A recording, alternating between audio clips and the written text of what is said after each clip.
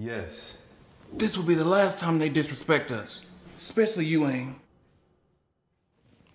Cartoon House. Go!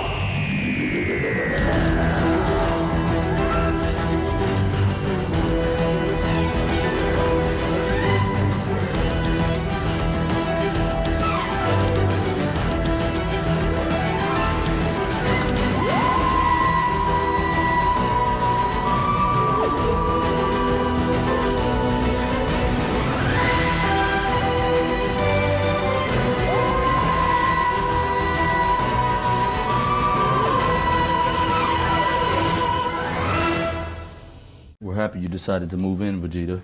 Well, I haven't fully decided if I wanted to stay here yet. I just wanted to stay here for a couple of days to talk to Bobby. Hmm.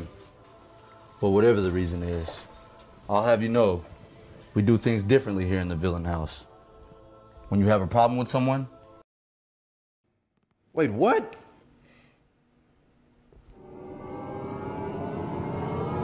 Something's not right.